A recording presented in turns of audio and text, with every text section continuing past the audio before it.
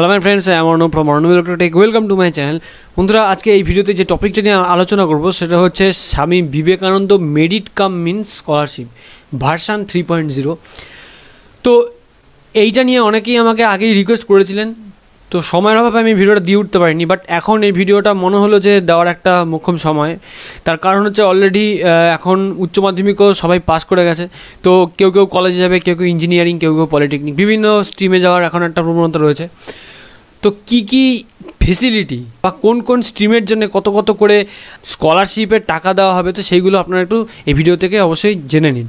পশ্চিমবঙ্গের উচ্চ মাধ্যমিক স্তর থেকে রিসার্চ স্তর পর্যন্ত সমাজে অর্থনৈতিকভাবে পিছিয়ে পড়া মেধাবী ছাত্রছাত্রীদের জন্য একটি উল্লেখযোগ্য পদক্ষেপ।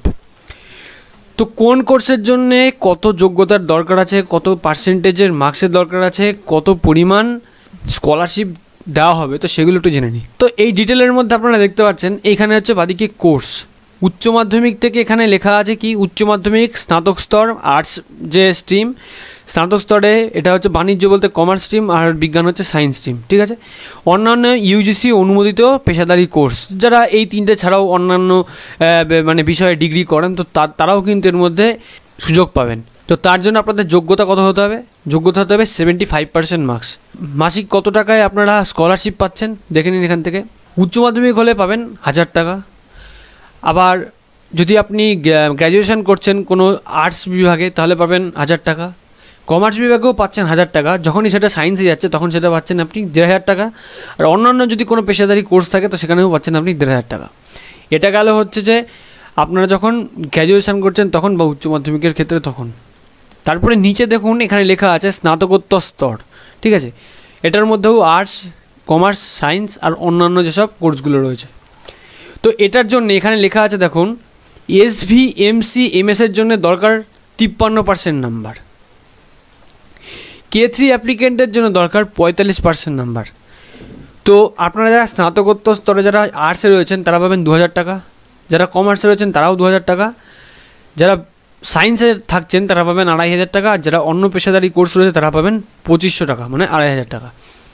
এবার আসছি non NET MPhil non NET PhD এবং নেট এল পিএইচডি এখানে দেখুন লেখা আছে, যথাক্রমে পাঁচ হাজার থেকে আট হাজার টাকা পর্যন্ত কিন্তু এখানে আপনি পেতে পারেন। এরপরে এগুলোতে গেল স্নাতক আর স্নাতকোত্তর স্তরের কথা নিয়ে। এইবার এখানে দেখুন যেটা হচ্ছে, আসছি টেকনিক্যাল টেকনিক্যাল কোর্স যাদের। ইঞ্জিনিয়ারিং। দেখুন, স্নাতক স্তর হচ্ছে বিটেক তারপরে রয়েছে স্নাতকোত্তর এমটেক ঠিক আছে?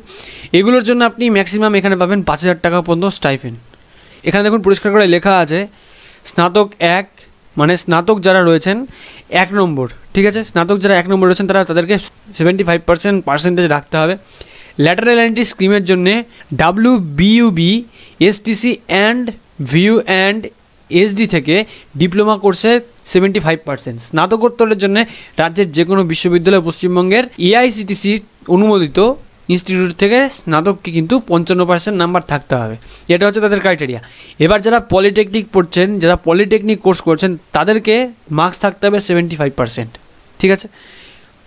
স্টাইফেন্ড পাবেন পনেরো, পনেরোশো টাকা। স্নাতকোত্তর যারা মেডিকেল ডিগ্রি করছেন বা ডিপ্লোমা কিছু যদি কোর্স করে থাকেন, তাহলে সেখানেও আপনার যোগ্যতা লাগবে। সেভেন্টি ফাইভ পার্সেন্ট মার্কস সেখানে আপনি পাঁচ হাজার টাকা থেকেও কিন্তু পনেরোশো টাকা পর্যন্ত স্টাইপেন্ড পাবেন। তো এটা গেল সম্পূর্ণ চারটা ঠিক আছে? তো এবার আমরা দেখে নেব যে আপনি আবেদনটা কীভাবে করতে পারবেন এখানে। তো দেখুন, এখানে লেখা আছে, আবেদন করার কি পদ্ধতি আছে? তো সেটা আমি আগে বলে দিই, তারপর আমি আপনাদের একটু দেখিয়ে দিচ্ছি, শুরুটা দেখিয়ে দেবো। তো আপনাদের যদি এর উপরে কোনো রিকোয়েস্ট থাকে, তাহলে অবশ্যই এটা নিয়ে একটা আলাদা করে ভিডিও করা হবে। দেখুন, প্রথমে লেখা আছে যে এদের যে অফিসিয়াল ওয়েবসাইটটা ঠিক আছে, যেটার মধ্যে বর্তমানে রয়েছি, এই ওয়েবসাইটে প্রথমে লগ ইন করতে হবে, কোনো অসুবিধা নেই ওয়েবসাইটের লিঙ্ক ভিডিও ডিসক্রিপশানে দেওয়া থাকবে। তারপরে কি তথ্য আপলোড করুন? মাধ্যমিক বা সমতুল পরীক্ষার মার্কস মার্কশিট শেষ বোর্ড কাউন্সিল অথবা কলেজ অথবা বিশ্ববিদ্যালয় পরীক্ষার মার্কশিট পরিবারের আয়ের শংসাপত্র বা joint BDO executive officer deputy commissioner বা গ্রুপ এ গেজেটেড অফিসার দ্বারা প্রদত্ত কন্যাশ্রী আবেদনদের, আবেদনকারীর ক্ষেত্রে এটা প্রযোজ্য হবে না, কিন্তু বাকিদের ক্ষেত্রে কিন্তু এটা নিতে হবে। মানে কি? সেটা হচ্ছে পারিবারিক আয়ের ইনকাম সার্টিফিকেট যেটা। তো ইনকাম সার্টিফিকেটের ফরম্যাট কোথা থেকে পাবেন সেটাও আমি দেখিয়ে দিচ্ছি। তারপরে কি চাইছে? বসবাসের সার্টিফিকেট হিসাবে Aadhaar ID, voter ID, ration card সংশ্লিষ্ট কর্তৃপক্ষ দ্বারা শংসাপত্র। তারপরে কি কার্যকরী চালু অ্যাকাউন্ট নাম্বার আইএফএসসি কোড সহ ব্যাংকের পাসবইয়ের প্রথম পাতা স্ক্যান কপি এই কটা জিনিস কিন্তু আপনার প্রয়োজন হচ্ছে যখন আপনি নতুন রেজিস্ট্রেশন করতে যাবেন তখন। তো বন্ধুরা, আপনারা এই সাইট থেকে কিন্তু ইনকাম সার্টিফিকেটের যে ফর্ম্যাটটা আছে সেটা পেয়ে যাবেন। কোথা থেকে পাবেন? ডাউনলোডসে যাবেন। ইনকাম সার্টিফিকেট বলে একটা অপশান আছে। এখানে একটা পারমিশন দেবে যে আপনার যে ডকুমেন্টটা অন্য ট্যাবে ওপেন হবে, এটাকে জাস্ট ওকে ওকে করবেন, করলে পরেই কিন্তু আপনার ইনকাম সার্টিফিকেটের একটা ফর্ম্যাট কিন্তু এখান থেকে ওপেন হয়ে যাবে। তো ইনকাম সার্টিফিকেটের ফর্ম্যাটটা কেমন হবে, সেটা একটু আপনারা দেখে নিন। এটা হচ্ছে সেই ইনকাম সার্টিফিকেটের ফর্ম্যাটটা model proforma for income certificate বলে এখানে লেখা আছে, ঠিক আছে? আপনারা কিন্তু এটা এখানে কাজে লাগাতে পারেন।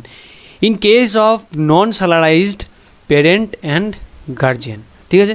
যার যাদের গার্জিয়ান কোনো রকম স্যালারি বা বেতন পায় না। এবার যারা স্যালারি পায় তাদের তো স্যালারি স্লিপ দেখাতে হবে। কিন্তু যারা স্যালারি পায় না, যারা মানে ব্যবসা বাণিজ্য করেন, তো তাদের জন্য কিন্তু এটা দরকার আছে, ঠিক আছে? তো এটা কিন্তু আপনারা এই সাইট থেকেই পেয়ে যাবেন।